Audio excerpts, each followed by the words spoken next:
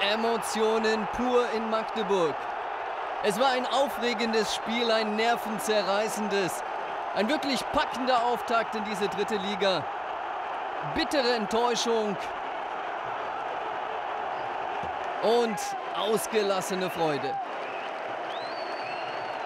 Ich durfte auch schon in vielen großen Stadien spielen und auch vor guter Stimmung, aber das war unfassbar. Wahnsinn, was diese Zuschauer hier von der äh einen Alarm gemacht haben. Ich glaube, dass wir ähm, einen sehr, sehr würdigen Rahmen zum Auftakt hier gesehen haben von einer tollen Kulisse und aus unserer Sicht natürlich mit dem falschen Ergebnis. Wir haben gesagt, wir wollen die Leute glücklich machen, die sollen nach Hause gehen mit einem Lächeln und sollen das Wochenende genießen.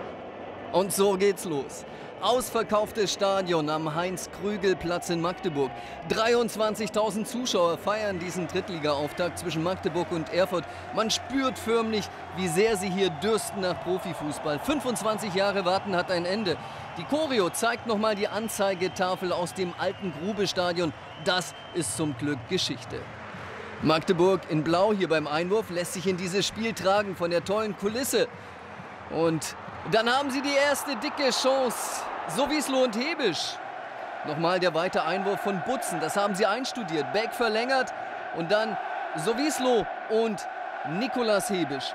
Gut reagiert von Klevin im Erfurter Kasten. Eine Viertelstunde war da gespielt. Dann Erfurt. In der Vorbereitung hatten sie Bundesliga-Aufsteiger Darmstadt 98 besiegt. Sie sind gefährlich, vor allem wenn sie ihr schnelles Umschaltspiel aufziehen und wenn Tyralla hier, der Kapitän, hinzukommt. Immer da, wo es brennt. Und Carsten Kamlott gefault im 16er. Die Erfurter Bank, Christian Preußer, alle gehen von einem Elfmeter aus. Und dann die Enttäuschung, auch bei Torwarttrainer René Twarzig. Patrick Ittrich entscheidet auf Abseits. Und er hat recht, knifflig, aber Kamlott steht mit dem Oberkörper tatsächlich im Abseits. Einwurf Magdeburg. Erfurt geht früh rauf auf den Ball im Schwarm. Stellen Sie hier Beck. Das ist der Plan. Die Philosophie von Trainer Christian Preußer. Schnell umschalten. Menz auf Piegel. Einer der Neuen in der Anfangsformation. Und der sieht Carsten Kamlott. Das war gefährlich. Kamlott entschuldigt sich da sofort. Hat da Glinker ein schmerzendes Andenken verpasst über der rechten Augenbraue. Dafür sieht Kamlott natürlich gelb und Klinker der hat Glück gehabt.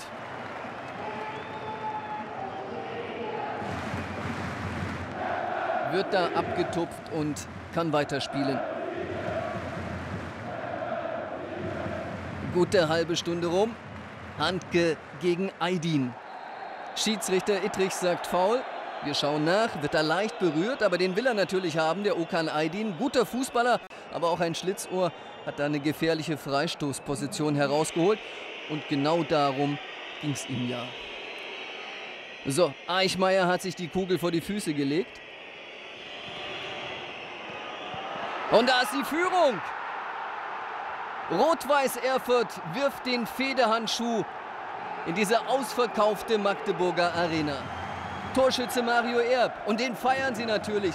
Ist ja auch eine tolle Geschichte. Macht sein erstes Spiel für Rot-Weiß und gleich ein Tor.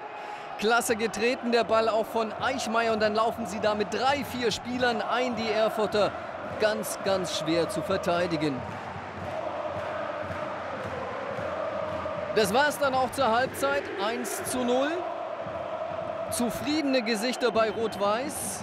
Zeit für unseren Reporter Guido Schäfer. Den haben wir dahin geschickt, wo was los ist und wo es weh tut.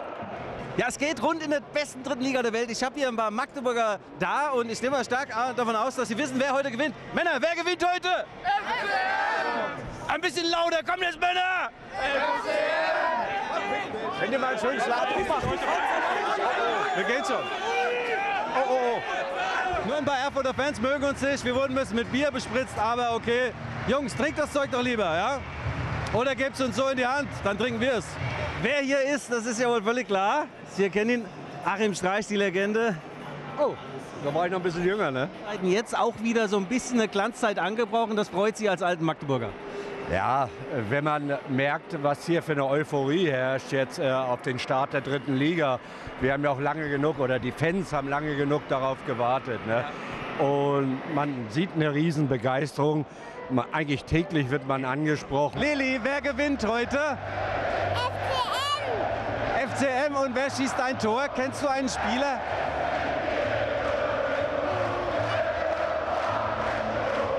Sie kennt keinen Spieler, aber sie liebt den FCM. Dankeschön.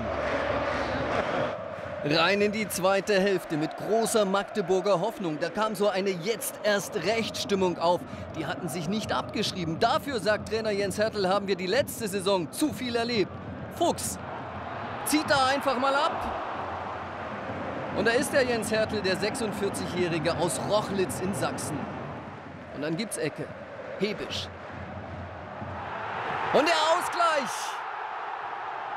60 Minuten gespielt. Wer hat's gemacht? Christian Beck. Ausgerechnet. Geboren in Erfurt, hat da in der Jugend und in der U19 gespielt und hier schenkt der Magdeburg neue Hoffnung. Aber muss man den nicht auf dem Zettel haben? Top-Torschütze der vergangenen Saison, Kopfball-Urgewalt, alles bekannt. Ja, muss man. Sein Schatten André Laurito, der mit der 6, der hatte das bislang gut gemacht, kommt aber hier den berühmten Schritt zu spät. Das die Magdeburger Bank, Sportdirektor Mario Kalnick. Und hier nochmal die Reaktion auf Erfurter Seite. Christian Preußer sauer, verständlich, ausgerechnet Beck. Den haben sie 60 Minuten im Griff und dann einmal nicht aufgepasst. So, Erfurt kommt nochmal. Die spielen hier auf Sieg und nicht auf Halten. Löhmanns Röben. Drischt den Ball einfach mal weg. Und dann dieser geniale Ball von Laurito. Vielleicht nicht so gedacht, aber der passte. Kamlot mit der dicken Chance zur Führung. Magdeburg ist da weit aufgerückt. Auch die lieben ja dieses aggressive und schnelle Ball erobern. Kopfball Rasek auf Fuchs. Lars Fuchs. Gibt's denn das? Der Oldie mit 33, der Älteste auf dem Platz. Und dann hat er die Kraft und die Coolness in der 90. noch so einzulochen. Was für ein Tor. Die meisten schieben den Ball ins lange Eck, aber nicht Fuchs. Mit links, rechts nach oben. Keine Chance für Klevin. Magdeburg rockt diesen Drittliga-Auftakt und Fuchs, der hat Zweitliga-Erfahrung, fast 400 Pflichtspiele, aber das hier, das geht auch ihm so richtig nahe. Und dann endet diese klasse Partie in einer blau-weißen Magdeburger Partie. Und auf der anderen Seite mit bitter, bitter enttäuschten Erfurter Gästen. Ja, wir haben das zweite Tor einfach nicht gemacht. Wir hatten in der ersten Halbzeit noch zwei sehr gute Chancen gehabt, äh, Kontermöglichkeiten auch dann am Ende der äh, Chippy halt nochmal Kamlot, wo er 2-1 machen kann. Ja, uns war schon klar, dass äh, Magdeburg dann in der zweiten Halbzeit nochmal sehr, sehr leidenschaftlich äh, spielen wird, unheimlich viel mit, mit langen Bällen auch agieren wird und wir haben es dann leider nicht mehr ganz so konsequent verteidigt. Und wir haben leider äh, versäumt, das zweite Tor zu machen. Die Mannschaft hat dann in der zweiten Halbzeit das Gesicht gezeigt, was wir vom letzten Jahr kennen. Mutiger, engagierter, leidenschaftlicher. Wir sind jetzt vielleicht nicht die besten Einzelspieler, aber als Mannschaft äh, muss man uns erstmal schlagen. Und das hat man, glaube ich, heute auch wieder gesehen. Wir sind eine geile Truppe und das merkt man einfach. Die erste Siegerfreude dieser neuen Drittligasaison und wenn es auch nur für die Statistik ist, das ist auch der erste Tabellenführer.